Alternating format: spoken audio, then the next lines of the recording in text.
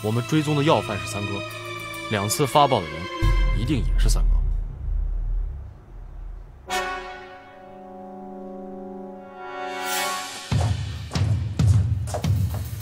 你想把家里人都吵起来？为什么擅自发报？你让我发的呀！你在曲解我的命令。我让你准备今晚发报，没让你擅自发报。你没说清楚，我怎么知道呀？胡搅蛮缠，冒险激进。你少给我扣大帽子！大帽子！我告诉你，小雨，你的冒险会让你没有头戴大帽子。你少唬！敌人的测向装置，没有人比我更清楚。叶雅颖同志，敌情在不断变化，我们总不能抱着过去的经验。这是同志们用血换来的经验，血的经验也是血的教训。你这是拿组织的安全和同志们的生命开玩笑，你知道吗？怕死，怕死就别革命。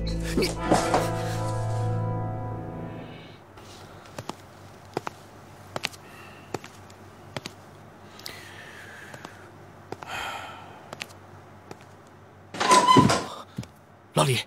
才回来？路上不顺利？还算顺利。坐下说吧。敌人又要准备围剿了，游击队要撤到山里。徐政委交代，把电台和报务员转移到郊外我们的堡垒户家里，暂时落脚。这不是胡闹吗？电台怎么带回来？那游击队用什么呀？哦，他说了，这次是跟游击纵队司令部在一起行动，电台用不上。之所以留下，是怕我们城里的电台发生什么情况，以防万一啊。老徐想的周到。哦，对了，今天在去的路上，我碰见两个人，其中一个跟那天你拿出那个画像里的人长得很像，而且非常警惕。我多瞄了他们一眼，他们立刻就消失了，像是故意在躲什么。在什么位置？呃，去长安村的三岔路口。那个三岔口路通往长安村李家坝子和方新庄，他们应该就在这一带。可是这一带的特务活动非常频繁，我们游击队根本没法落脚。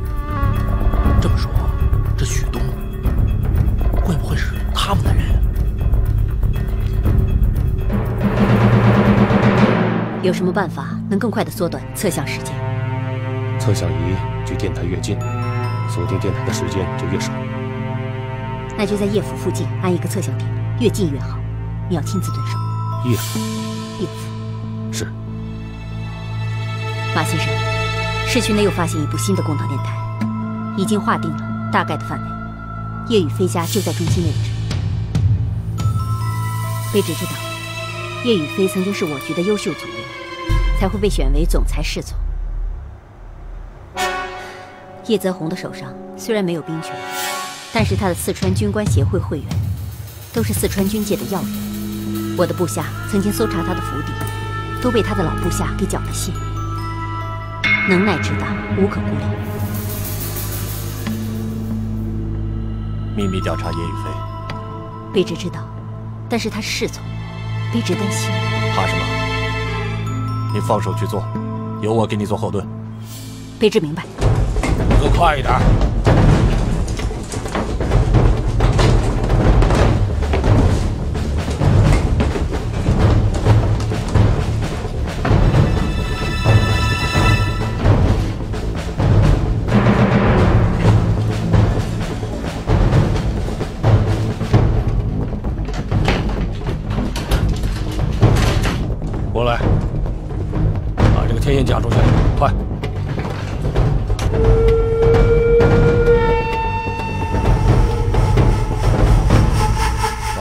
保卫总裁的安全是我的职责，我呢无条件配合。只是马先生是否过于敏感了？啊，所以我才请韩主任暗中监控。敬礼。我认为我们应携手防患于未然。如果叶宇飞真有问题，你我都担不起这个责任啊。那好吧，我会派人密控叶宇飞。不过我也提醒马先生，如果没有真凭实据就怀疑叶宇飞是共党，不知总裁还会信任谁？此事若是让总裁知道，恐引起总裁的不快。所以希望马先生在总裁立龙之前，对叶宇飞尽快做出结论。啊，韩主任请放心，我会尽快做出结论的。多谢韩主任对我们工作的支持啊！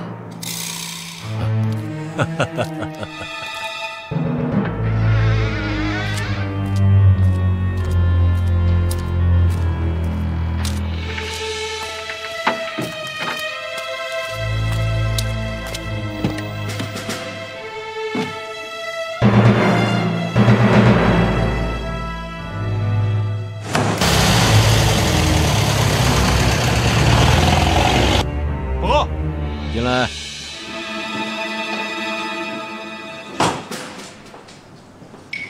主任，我要你搬来和叶宇飞一同住，密切监视他的一言一行、一举一动。有什么情况，立刻向我报告。明白。总裁需要叶泽宏效力，所以此事要格外小心谨慎，一定要保密，尤其不能让其他侍从知道，引起不必要的慌乱。现如今是多事之秋啊，凡事不能有一丝一毫的懈怠。请主任放心。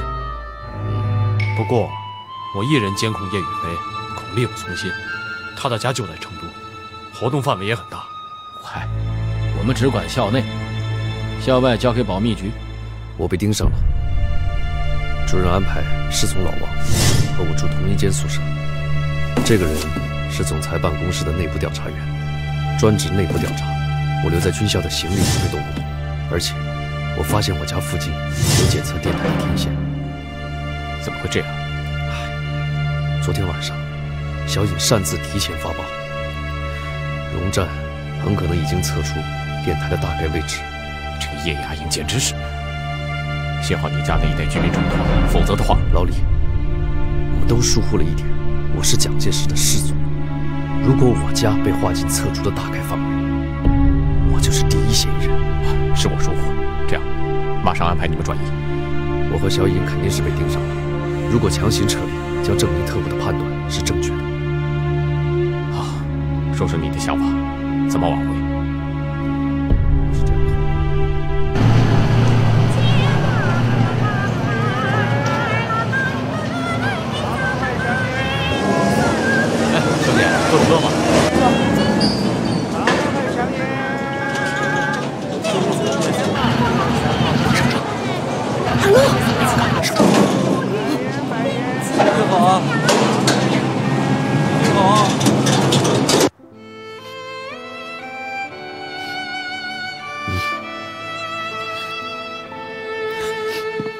这次行动，我需要你无条件的配合，不能再有一丝纰漏。只要我能弥补我的错误，就算付出生命我也愿意。小野，你还是没有领悟地下工作的真谛。记住，活着才能战斗。是啊，在敌人的心脏中工作，牺牲很简单，活下去才是最艰难的，明白吗？那我现在还能做什么？你今天是什么班？晚上八点的夜班。太好了，你拟电通知上级，我们的电台可能被敌人监控，不定时发报，让他们全天开机，等待超收。可是电台在家，你只负责你电编码，派发任务我交给游击队的报务员，我另有重要任务要交给你，什么任务？找你的朋友逛街。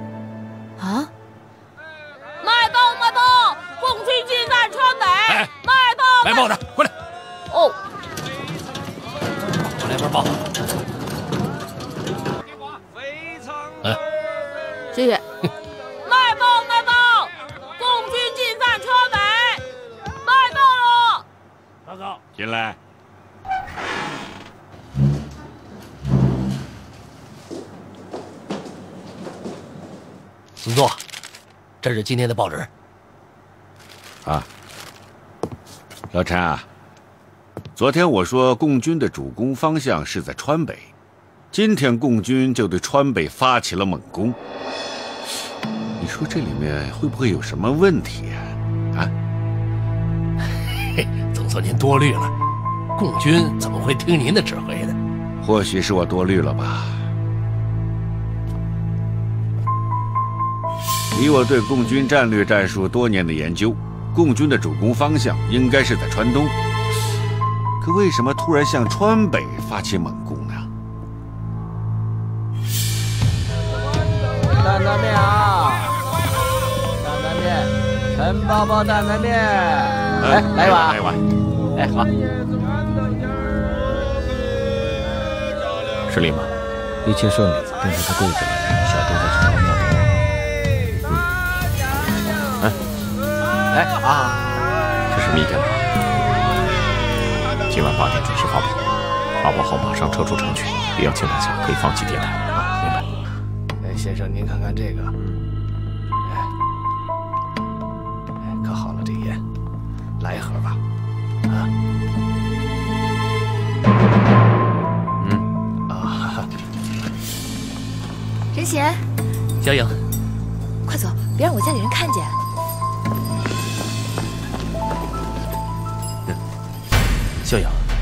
什么时候你才带我回去见伯父啊？嗯，等全国解放以后。啊？那还有多久啊？很快的。走啊，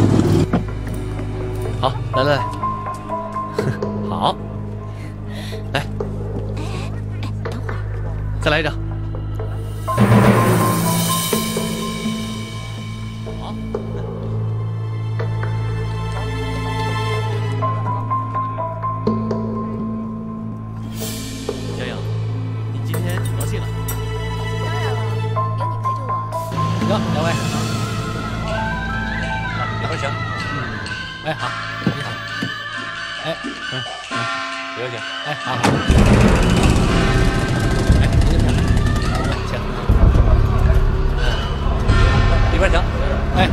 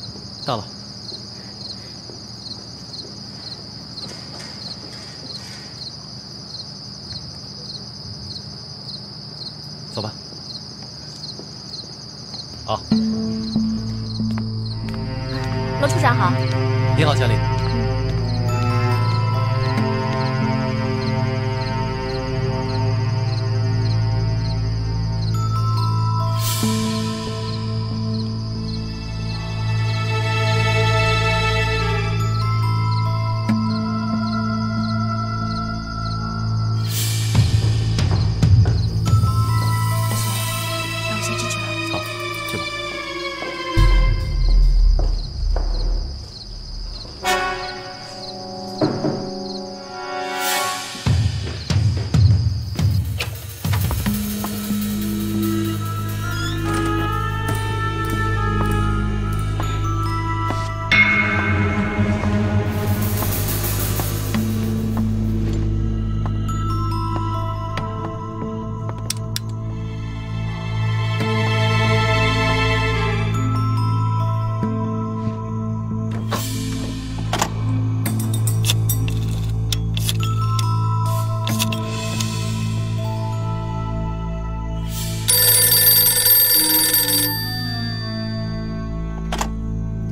是何林，何站长，你的人是在跟踪我，还是在跟踪叶雅颖啊？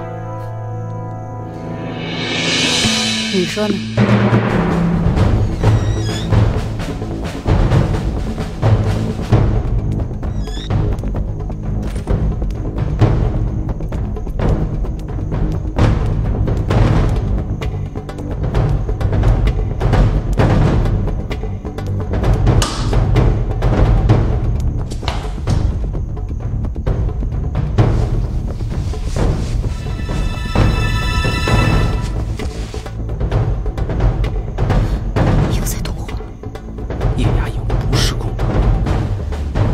是，与不是需要你来验证。你陆仁贤，你说你现在效忠的是党国。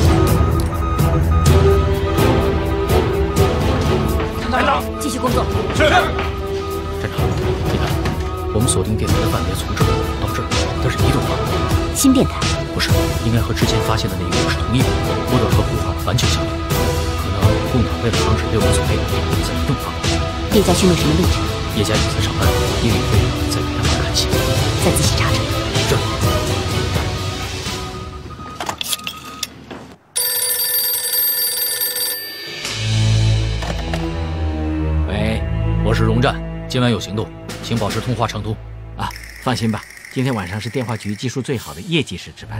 人员在位吗？呃，稍等啊。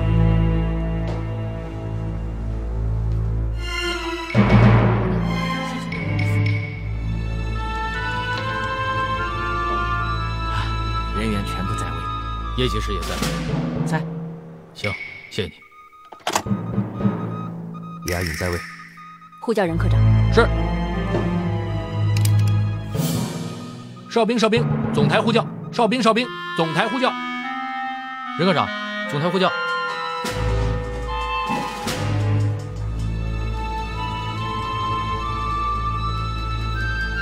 总台，总台，我是哨兵，我是哨兵，总台请讲。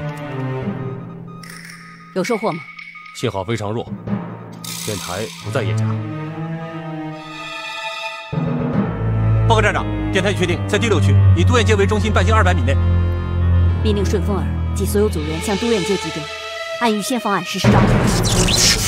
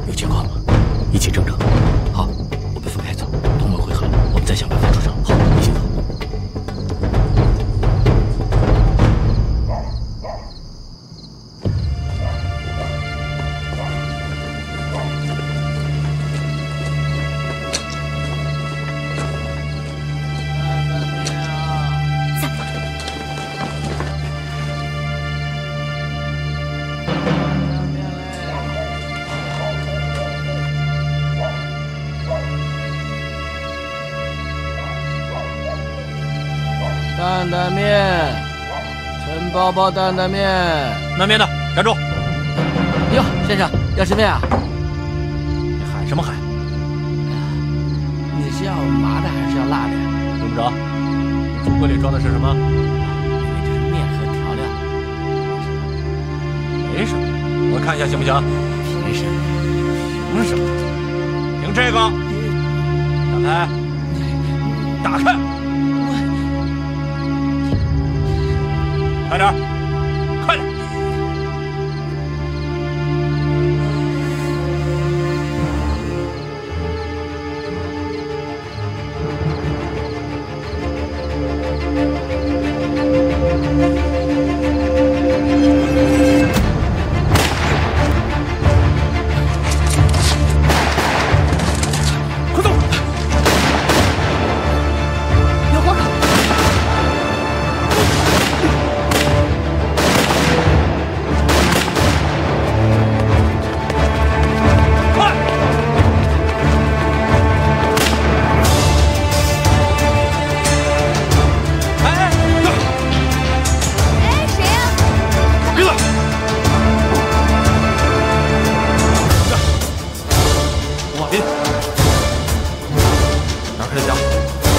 为什么不通知我？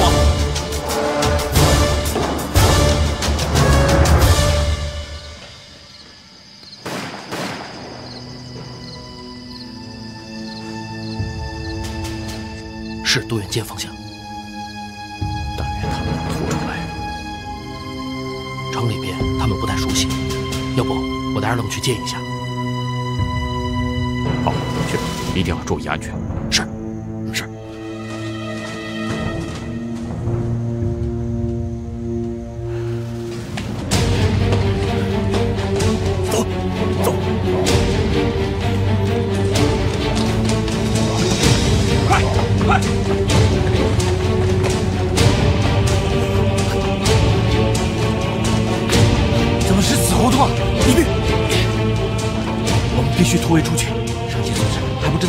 换了测向装备，只需要五六分钟就能测出我们电台的位置啊！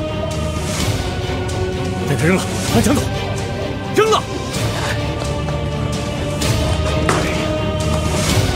快！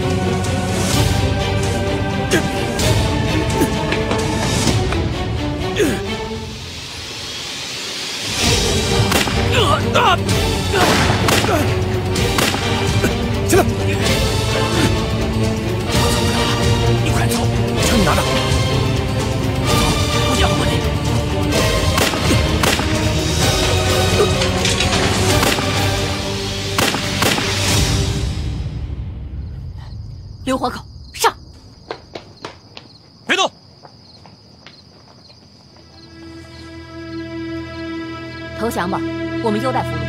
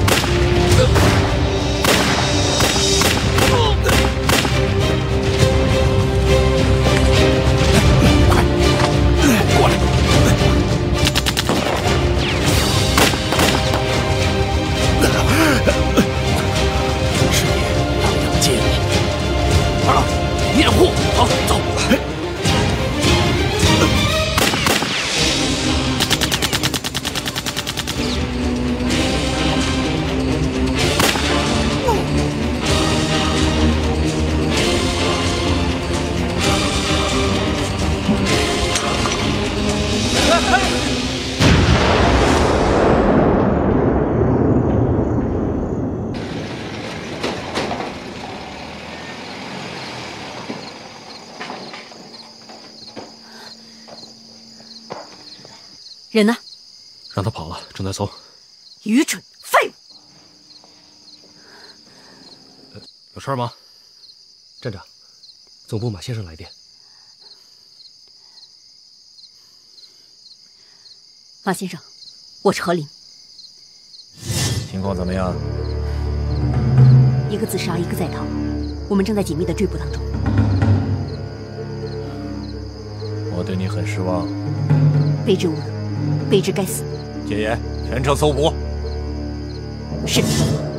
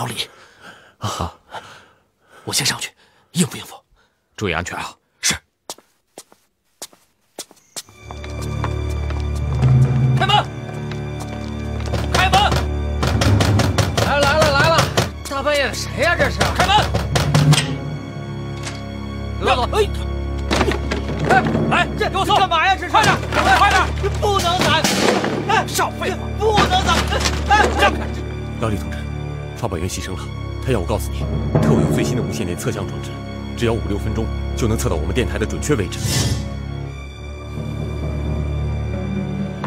哎，老总，老总，老总！哎哎哎，老总，老总，哎，走，别别别，让开，让开，让开！哎呀，你这老总，你一边去！哎哎，老总，老总，哎哎哎哎，老总，对，给我仔细搜，好好搜。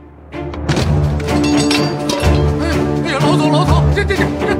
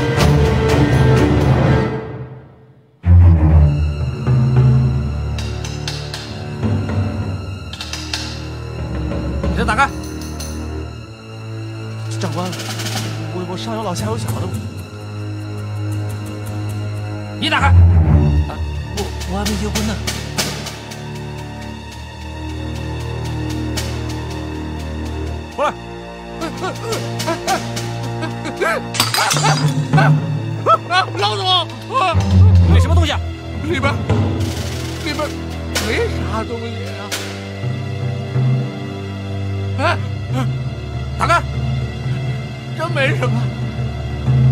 一、二，哎哎，我来开。这都啥时候了，你还要不要命了？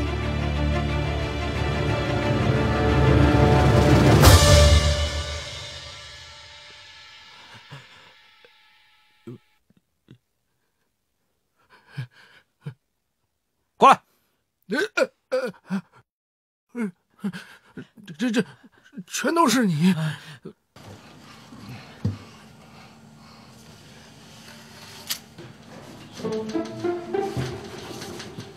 什么东西？啊？拿出来！拿出来！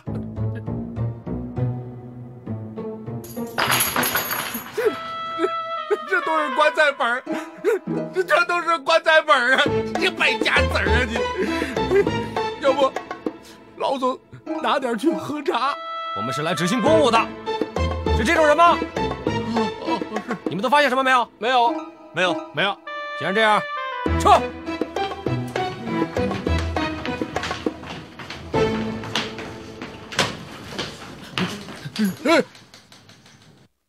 我就试一下，会不会死？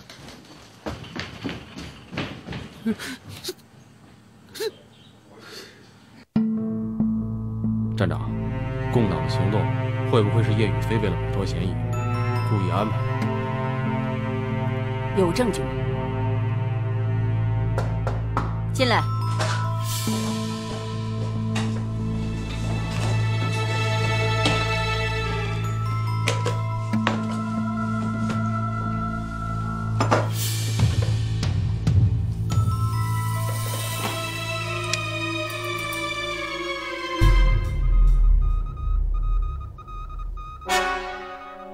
这是昨晚发布的录音，不是同一个人所发的。准确的说，昨晚发报的人不是三哥。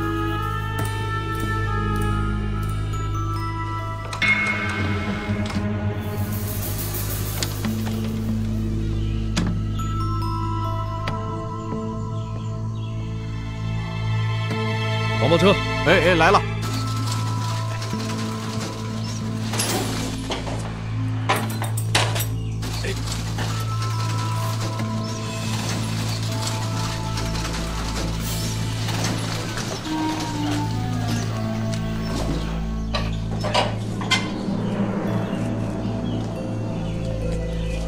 怎么了，老李？特务装备了新型无线电测向仪，五分钟就能测出电台的准确位置。电台损失，报务员牺牲，警务员负伤。是我考虑的这么狠，我们都有责任。我已向上级请求处分，游击队退入深山与敌周旋。现在叶阳影是我们唯一的保护员，所以组织上决定任命他担任你的助手。我服从组织决定。我们对徐东的调查还没有实质进展，只是从外围了解到，杀富济贫、替天行道的旗号与国民党作对。徐东身边有个人叫丁大海，徐东似乎对他言听计从，请敌工部门的同志留意一下。对你反映第一次和三个接头敌人就提前设伏的情况，上级非常重视。内部调查有结果吗？暂时没有。纪律部门的同志认为，在天津报一案中被捕的人员里，有很多人都对我们的联络方式很了解，能看懂我们的联络暗语。或许你登报召唤三哥接头的消息被叛徒无意中看到了。能查到还有谁被捕过吗？我明白你的意思。秘密逮捕也是敌人的一个惯用手段。如果叛徒是在密捕期间背叛了革命，就很难查到他。叛徒对组织的危害大过特务百倍，内部审查不能中断。知道。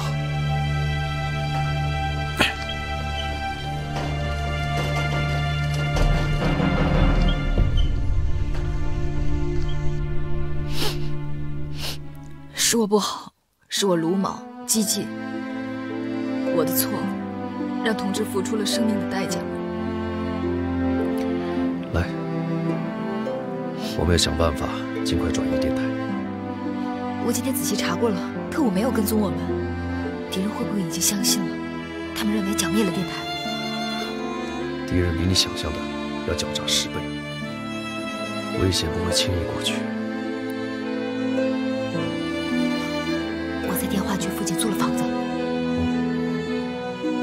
上夜班不方便回家，所以租了房子。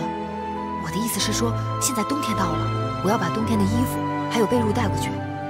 你看我们能不能趁机把电台也带过去？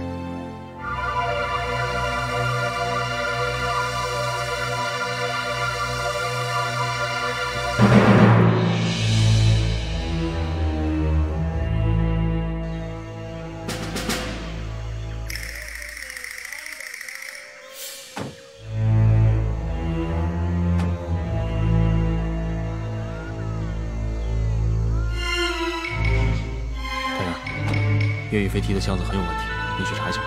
是。等等，你过来。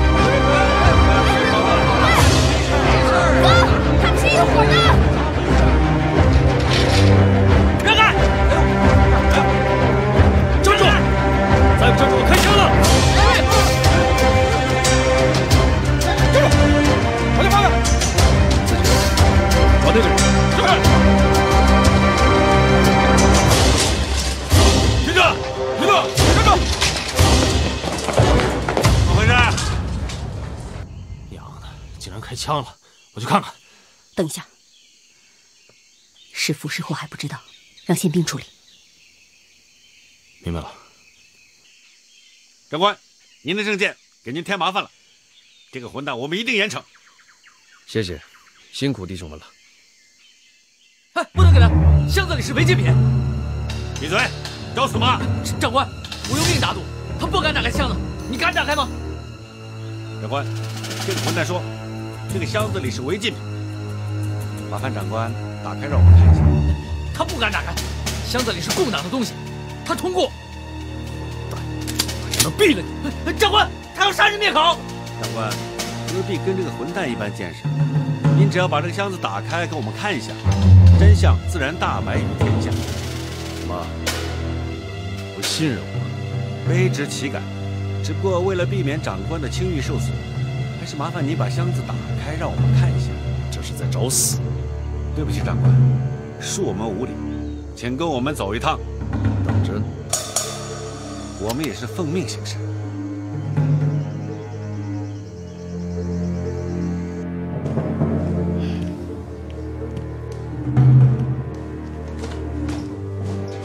长官，你还是把箱子打开吧，让我们看一眼就行。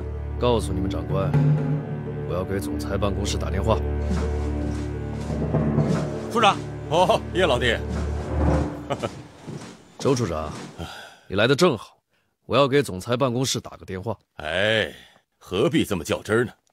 给我下面的弟兄一口饭吃，这也是他们的职责所在嘛。再说了，不过是一只箱子，打开看看又如何？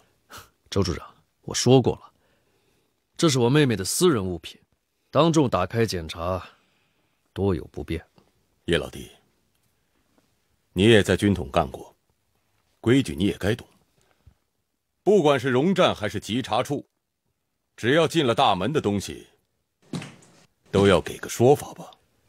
看来是一定要看，一定要看。通共的罪名，我们谁都担不起。好，烦请周处长找个女军人来检查。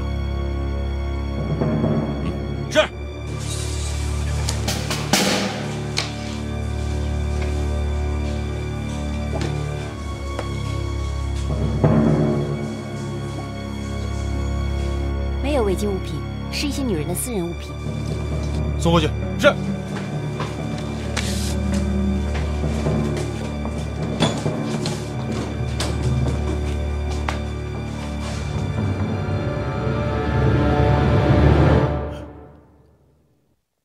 下去。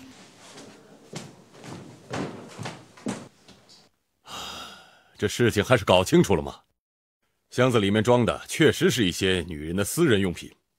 是，这大庭广众之下是不愿意接受检查，这个是可以理解的。我就说嘛，叶老弟是总裁的侍从，怎么可能通共？怎么怎么会通共呢？你放心，我一定严惩我这两个手下。不必了，他们也是职责所在，还不谢过长官？多谢长官宽恕。不用谢，去干点正事。是。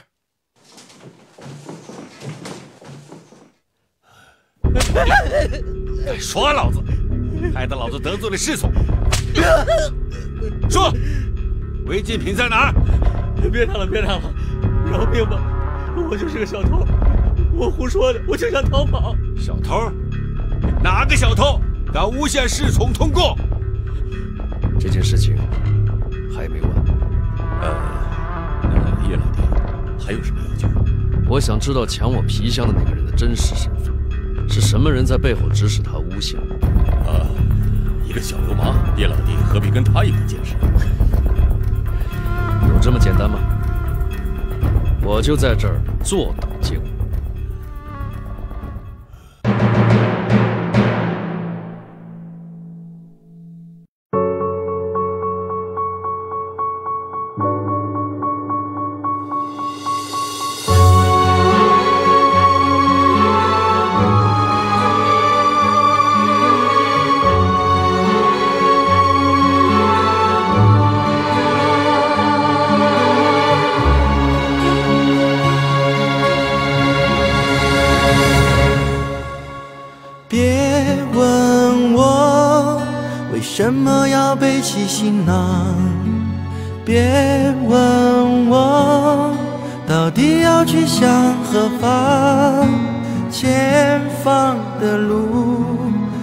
荆棘密布，只要有信仰，就不会迷途。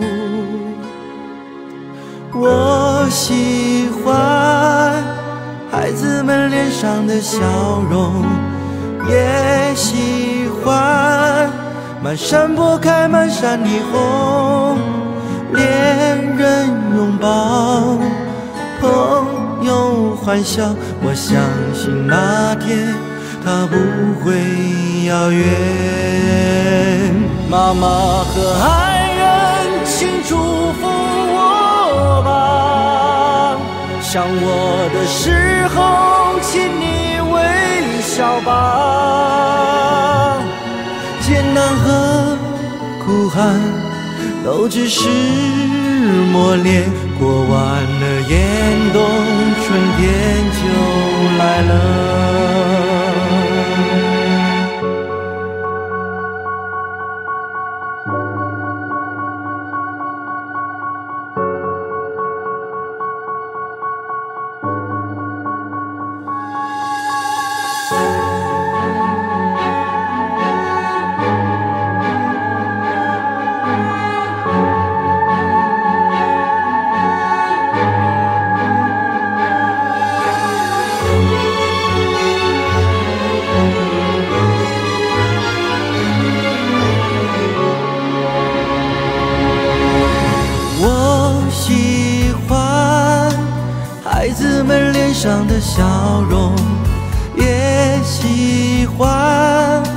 山坡开满山霓虹，恋人拥抱，朋友欢笑。我相信那天它不会遥远。